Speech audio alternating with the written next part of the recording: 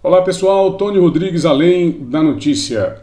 Bom, eu tenho recebido várias manifestações dos nossos espectadores aqui do canal é, pedindo que a gente se concentre em temas locais.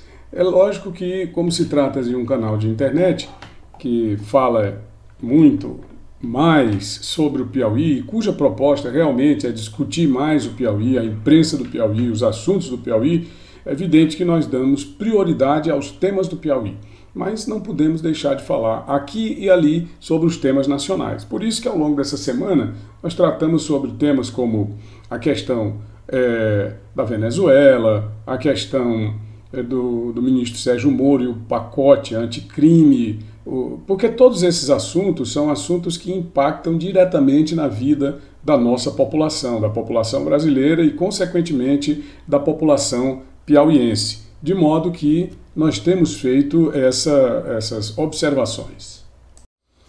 Mas eu tenho aqui, por exemplo, queria chamar a atenção de vocês, uma mensagem aqui do Robson Rosal. Queria abraçar o Robson e agradecer, evidentemente, pela sua manifestação, onde ele diz o seguinte: Tony, se me permite, sugiro que considere focar mais as questões locais com essa vergonhosa mídia chapa branca, tudo nesse estado é opaco.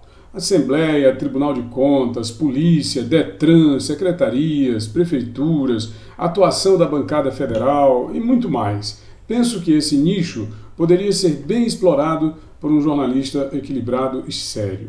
Eu agradeço, claro, é, a parte que nos, com que nos honra, tá bom? Então, Robson, vamos falar sobre questões locais sim. Esse vídeo vai tratar sobre questões especificamente locais. Vamos dar continuidade à questão do, do escândalo na Secretaria de Estado da Educação, mais um, porque são muitos. Eu quero só lembrar que entre os muitos escândalos da Secretaria de Estado da Educação, desde que é, começaram as primeiras informações de, envolvendo a Secretaria de Educação na gestão essa gestão do governador Wellington Dias, da primeira-dama Rejane, esse pessoal que está no poder hoje, nós fizemos as primeiras, eh, os primeiros levantamentos, os primeiros questionamentos, as primeiras indagações. E por isso, evidentemente, nós temos sofrido, é claro, eh, muitos hum, hum, questionamentos, muitas perseguições, mas eu não, não levo em conta absolutamente nada disso. Por quê? Porque fazemos porque queremos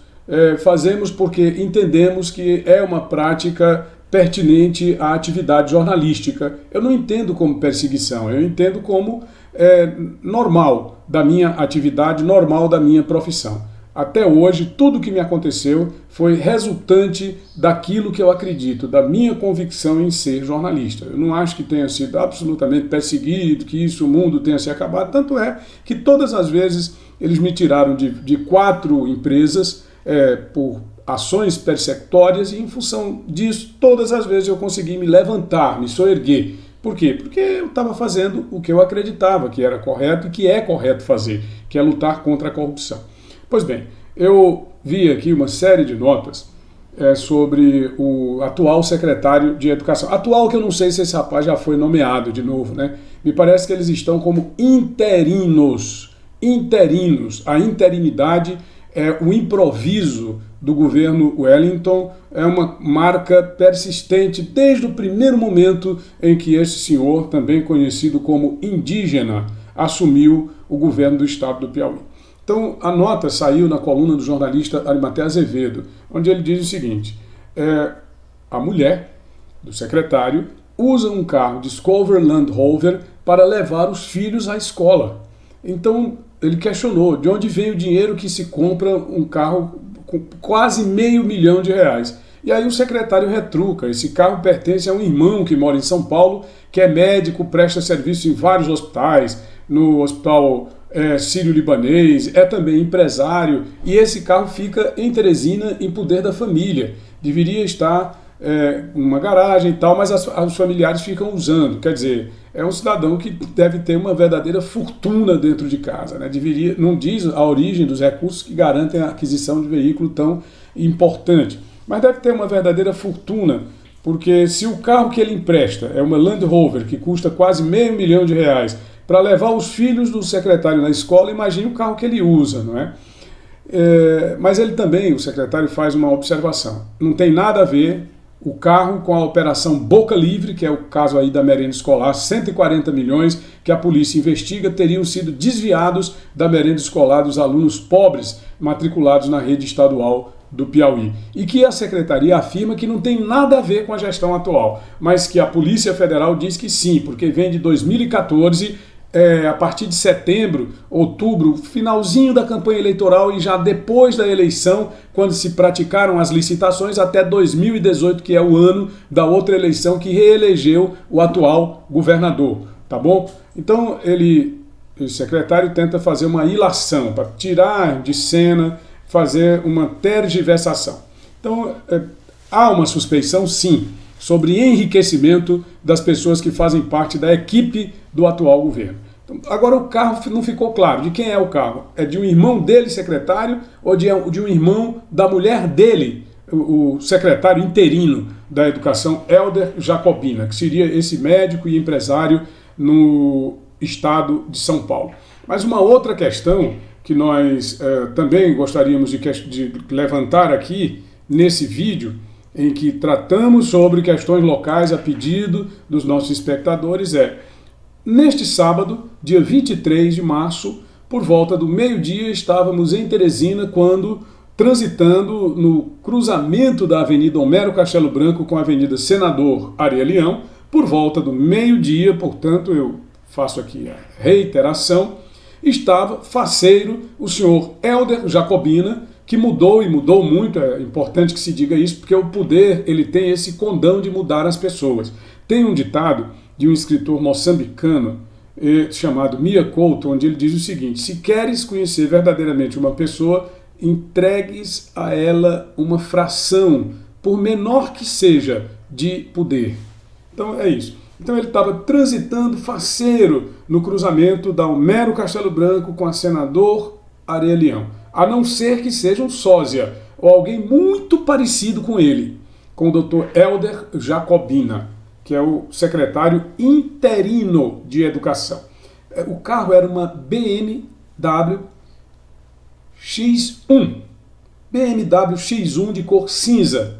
Não deu para anotar a placa, não tive tempo. Uh, rapidamente, foi muito rápido, também não estava preparado para fotografar é, se tivesse fotografado era normal, porque como jornalista é uma prerrogativa de imprensa e significa dizer que o termo ostentação, é, meus prezados espectadores aqui do canal Tony Rodrigues Além da Notícia, está fazendo sim parte da equipe da Secretaria de Educação do atual governo. Independente da Operação Boca Livre, da Operação Topic e de outras operações que já foram realizadas ou que venham a ser realizadas, além é, de tudo, da impunidade que graça neste Piauí e nessa região nossa aqui Nordeste, que parece que não faz parte do Brasil, pelo menos não em termos de Operação Lava Jato e de outras operações punitivas no que diz respeito ao aspecto de corrupção. Agora, enquanto isso, os alunos não podem assistir aulas por falta de transporte escolar, por falta, no, por falta de pagamento é, do, do, do transporte há vários meses. Muitos desses alunos estão pagando esse deslocamento do seu próprio bolso ou simplesmente deixando de comparecer. E isso é um grande prejuízo para a educação do Estado do Piauí, para a educação pública, que o senhor Helder, mesmo interino, porque interino não tem compromisso, mesmo interino, mas ele deveria cuidar, deveria zelar, ou então sair e deixar para quem queira, inclusive o próprio governo que ele representa, já que não quer cuidar, já que não quer zelar, deveria sair e deixar para quem queira. Agora, o difícil é achar quem queira, depois dessa verdadeira hecatombe que se abateu sobre o estado do Piauí com a passagem desse pessoal pelo poder. Bom, quero só fazer aqui um compromisso com vocês, é isso aí que nós tínhamos para dizer. É, quer dizer, além da Land Rover, ainda tem mais essa BMW X1 de cor cinza, que o senhor Helder Jacobina deve ser de um outro amigo ou de um outro parente da família desses milionários de São Paulo que estão deixando esses carros emprestados e guardados aqui no estado do Piauí. Vamos fazer uma live quando atingirmos 8 mil inscritos aqui no canal. É mais um compromisso, tá bom? Grande abraço a você. Se você gostou, deixa aí o seu like. Se inscreve no canal, ative as notificações. Tony Rodrigues, Além da Notícia. Só para finalizar, valeu! Olá pessoal, Tony Rodrigues, Além da Notícia.